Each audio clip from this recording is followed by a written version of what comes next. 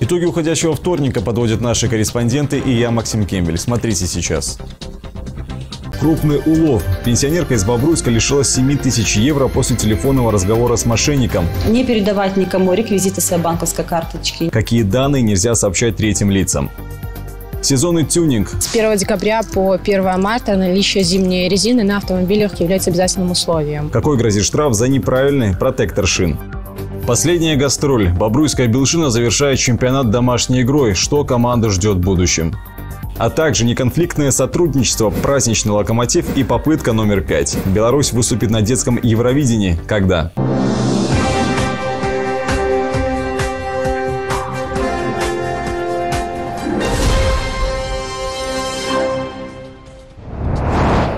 Пенсионерка из Бобруйска после телефонного разговора с лживым сотрудником банка лишилась свыше 7 тысяч евро. На этот раз жертвой афериста стала 63-летняя женщина. Ей позвонили с незнакомого номера с иностранным кодом. Мужчина сообщил, что со счета пенсионерки пытались похитить деньги, однако банк перевел их на страховой счет. Для завершения всех необходимых операций мошенник убедил пенсионерку предоставить все данные.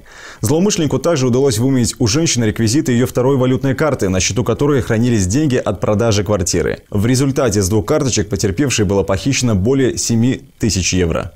Чтобы минимизировать риск хищения денежных средств вашего расчетного счета, необходимо соблюдать ряд простых, несложных правил. Э, а именно не передавать никому реквизиты своей банковской карточки, не называть код, э, который приходит смс-сообщение, не называть срок действия карточки, трехзначный код с обратной стороны. Бобруйский межрайонный отдел Следственного комитета возбудил уголовное дело. В Беларуси выздоровели и выписаны 105 835 пациентов с COVID-19. Зафиксированы 126 953 человека с положительным тестом на коронавирус. Всего проведено 3 миллиона 101 тысяча 820 исследований. Такие данные приводит Минздрав. Число заболевших коронавирусом в мире уже 59,5 миллионов. Прирост за сутки свыше полумиллиона. Большинство инфицированных по-прежнему приходится на Северную и Южную Америку. На втором месте Европа, на третьем Юго-Восточная Азия. Европа, к слову, готовится к Рождеству. В Англии, Испании и Франции смягчают карантин. Открывают бары, рестораны и магазины.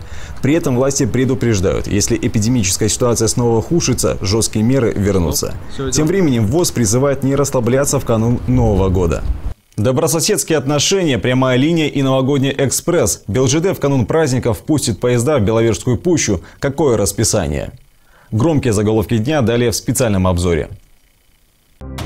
Беларусь заинтересована в неконфликтном и эффективном сотрудничестве с другими государствами. Об этом на церемонии вручения верительных грамот послами зарубежных стран заявил Александр Лукашенко. При этом президент отметил, что исключает любое политическое и экономическое давление. В диалоге с партнерами Беларусь придерживается принципов открытости, порядочности и равноправия. Верительные грамоты Александру Лукашенко вручили послы Бангладеш, Израиля, Камбоджи, Китая, Намибии, Пакистана и Мальтийского ордена.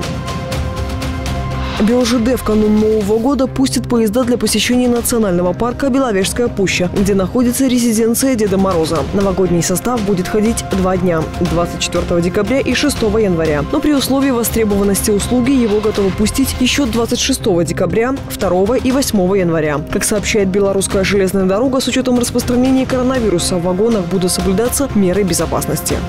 В субботу в Бобруйске будут работать прямые телефонные линии. На вопросы жителей с 9 до 12 ответят в горисполкоме и администрациях районов. Курируемые темы – экономика, инвестиционная деятельность, статистика и анализ, предпринимательство, труд и заработная плата, торговля, оказание бытовых услуг, социально-культурная сфера, идеологическая работа, образование. Телефоны для связи на ваших экранах.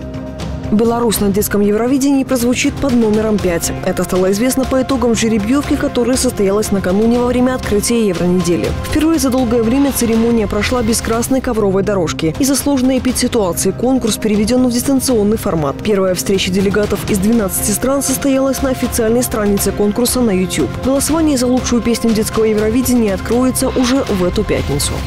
Стали очевидцем происшествия. Бьетесь над решением наболевшей проблемы. Есть эксклюзив. Корреспонденты Бобрусь 360 готовы выехать на место событий прямо сейчас. Телефон горячей линии на ваших экранах.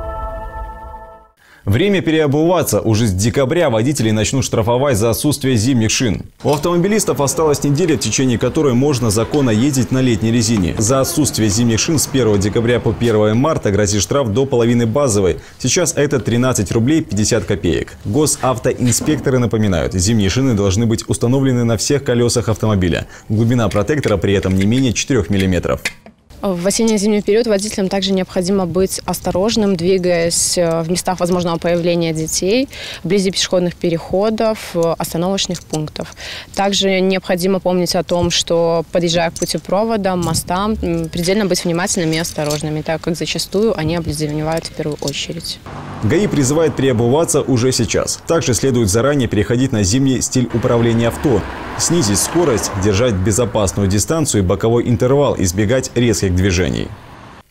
В субботу пройдет заключительный 30-й тур чемпионата страны по футболу в высшем белорусском дивизионе. Начало всех поединков в 14.00. За тур до окончания сезона Бобруйская Белшина гарантировала себе понижение в классе. 2021 красно-черные проведут в первой лиге. Последний матч в элите наши футболисты сыграют на родном стадионе «Спартак» в соперниках «Рух». В то же время все внимание болельщиков будет приковано к матчам Солигорске и Минске. Там должна будет разрешиться золотая интрига. Батэ сыграет против столичного «Динамо», «Шахтер» примет ФК Минск. Не менее интересная борьба за бронзовые награды. На них претендуют сразу четыре клуба. Оставшаяся часть расписания выглядит следующим образом. Слуцк против Смоливи, Вичи, Ислыч примет Городею, Витебск постарается отобрать очки у торпеда БелАЗ. Славия проэкзаменует студентов из энергетика БГУ, а Неман сразится с Брестским «Динамо». Это все и события к этой минуте. Смотрите нас в интернете и соцсетях. Мы в эфире каждый будний вечер. Счастливо!